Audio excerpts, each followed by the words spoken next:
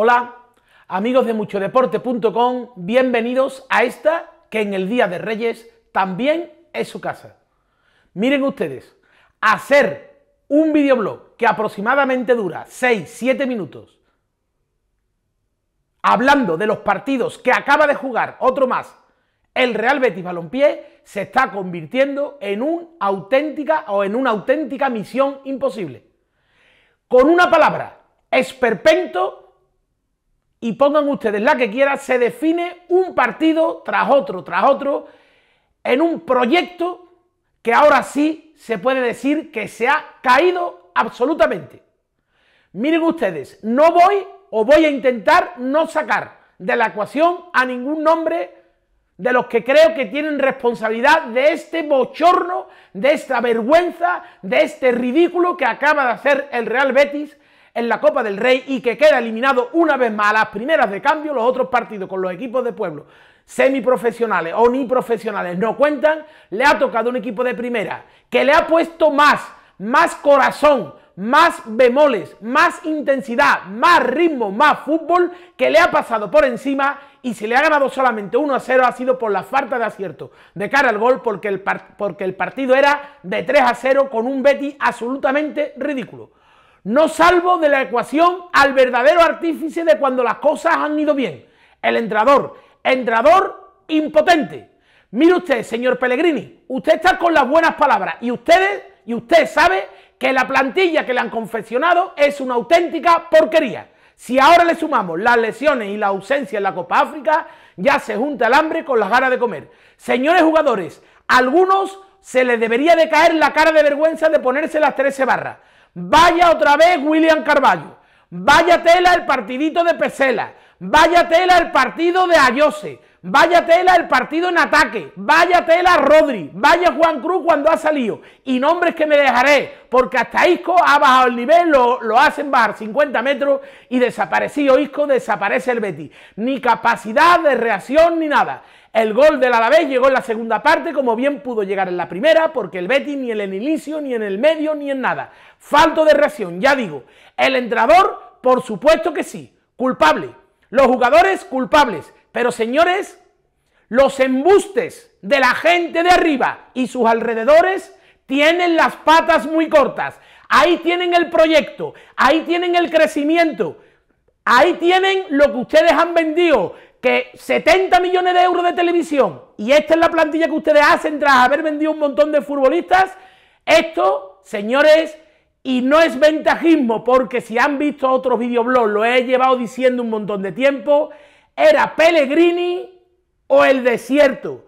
Cuando Pellegrini se ha caído, que Javier León no lo niega, aunque sigo confiando en él a muerte, cuando Pellegrini se ha caído, el desierto ha llegado.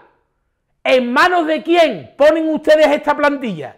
De un milagrero que acertaron al traerlo, si ahora, en vez de rajar por detrás ustedes, ustedes y los que chupan de la teta a costa de ustedes, si en vez de rajar por detrás tienen hombría y tienen lo que hay que tener, échenlo si quieren. Venga, no mensajitos por detrás, mandar al ejército de botarate del Twitter a poner cositas. No, no, no, no. Échenlo si se atreven. Y traen ustedes otro Víctor Sánchez del Amo, otro Polleo, otro Rubi, que es lo que traían.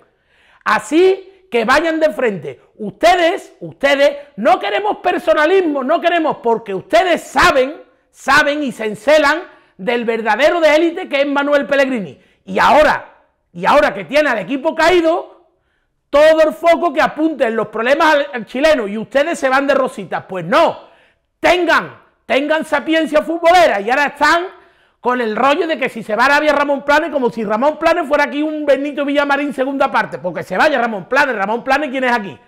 Ahora, ahora, si queda algo de beticismo y, de, y beticismo futbolero y venenoso, tienen que reforzar el equipo. No empiecen ya a mandar a los lacayos y a los escribientes de turno que no hay masa salarial, que tienen que salir dos o tres, que tienen que no sé cuánto. No, señor.